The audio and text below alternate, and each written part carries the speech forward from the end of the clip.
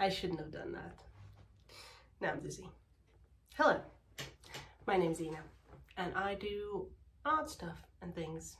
So welcome, or welcome back if you're coming back, which is awesome. Now, if you haven't seen the first part of this, I'll link it somewhere in the video, um, and things will make more sense. Not all the things, but some things.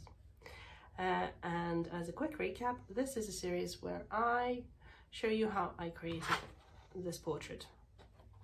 Now, last episode was all about line work, and this part is all about the backgrounds. Now, backgrounds have been an afterthought in my process for quite some time, even if a thought at all. A lot of my portraits have no background at all. Some have just blobs of colour.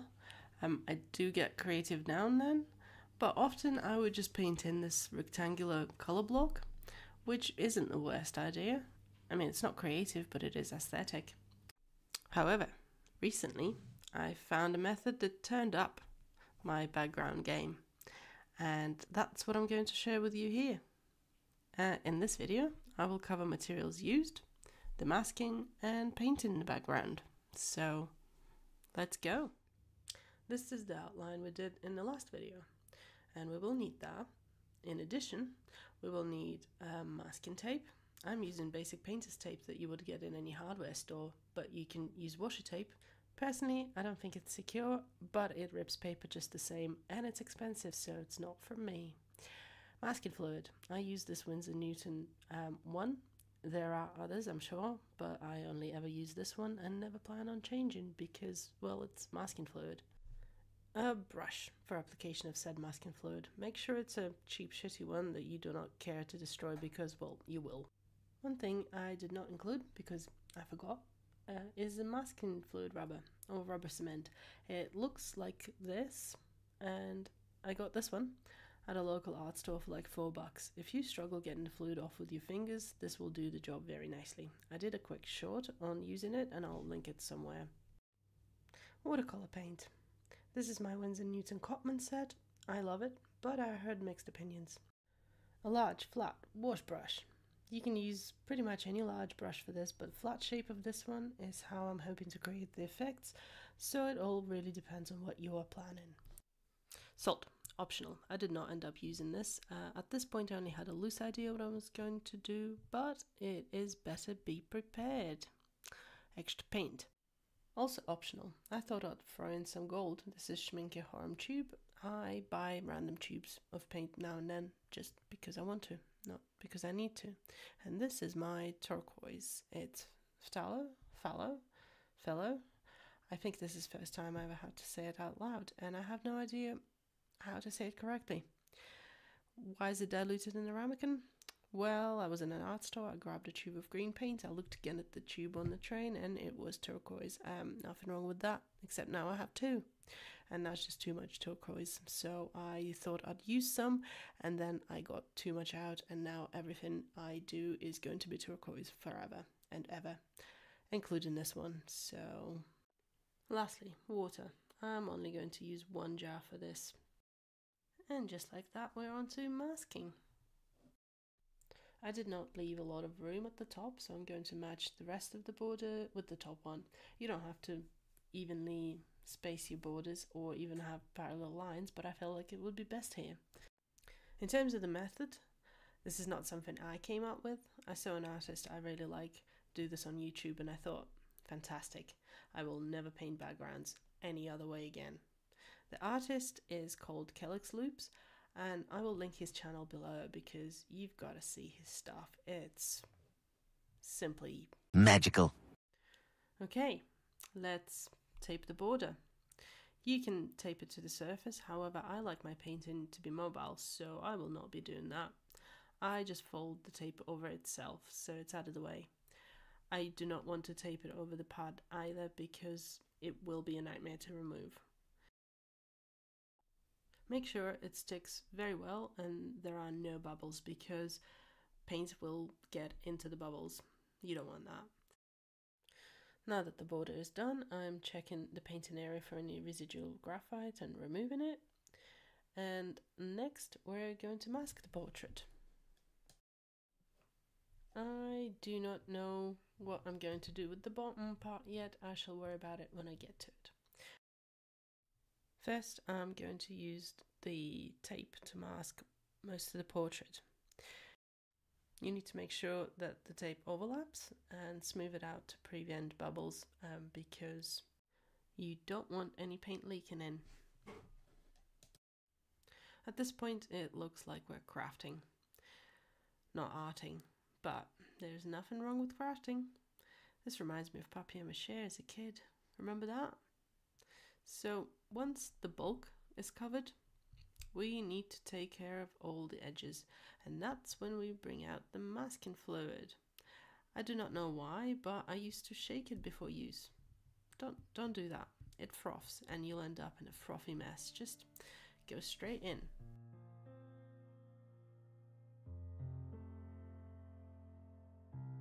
The aim here is to cover all the areas that the tape didn't. Try and stay within the lines, but if you go over, don't worry, it's masking fluid. You can remove it and apply again.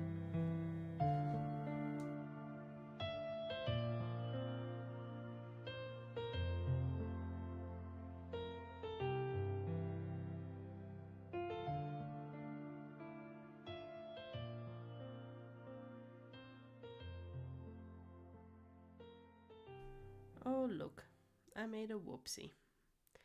But don't worry about it. All I did is wipe it off with my finger, waited for the rest to dry, and then reapplied.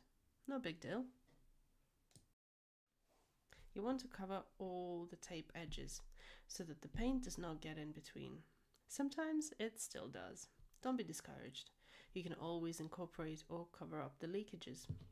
And now we get to the point where I have to work out what to do with the bottom. And um, after a quick ponder on whether I can pull off a smooth transition from skin into the background abyss, I decide no, let's not get crazy, and close that neckline and tape it up.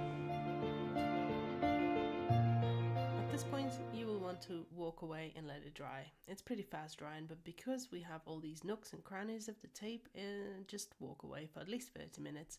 I once wasn't patient enough and nearly ruined my favorite brush. So, patience, hotshot.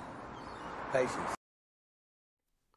Through the power of editing, however, the time to paint is now. Get your paints, your water, and your brushes, and let's go. Good thing about this method is that you can get loose and creative, and if it does not work out and you create hot garbage, paint it black, throw some salt on it, or don't, and you still will have a pretty impactful background. So it's a win win.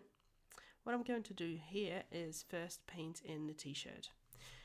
It's black and there are no folds.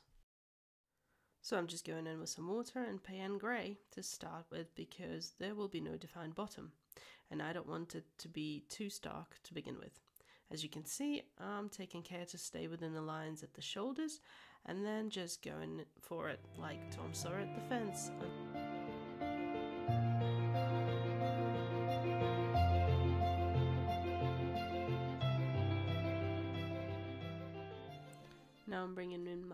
Trusty turquoise and without too much thought working it into the grey.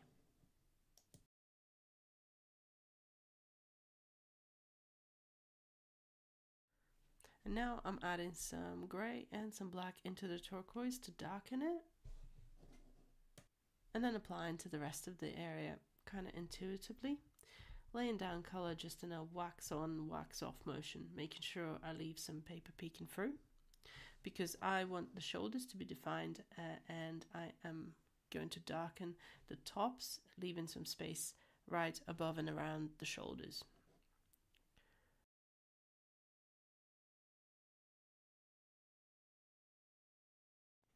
Now I'm just bringing in some black and adding darkness in places. And because I want maximum contrast with the portrait, most of the darkness I will be adding around the head and hair because that will make the red of the hair pop. Now I have some options of what to do with the areas I've just left white. I can leave them. I can add the gold to them. I can go rogue and add some opera rose to it because reasons. And that's what I did with a little prayer, and here goes nothing. And it worked pretty well, in my opinion.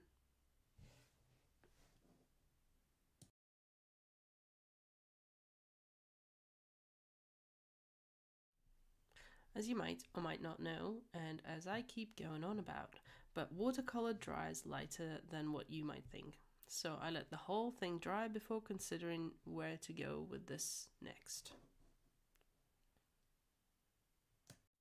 As suspected, the shoulders are kind of lost, so I'm adding pure black to darken them and make them stand out. I'm using lamp black for this. Uh, I also have ivory black, but I don't think it works as well um, for this one. It's a bit less black.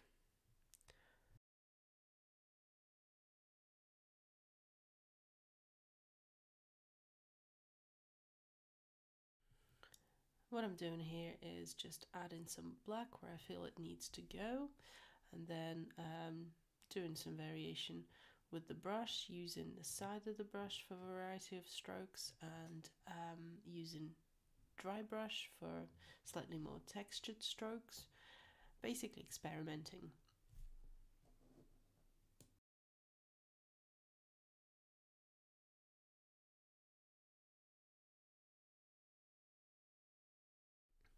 I'm going to use some of that gold after all, and I'm using it mainly to bring out the shoulders and add um, some to the lighter areas for interest.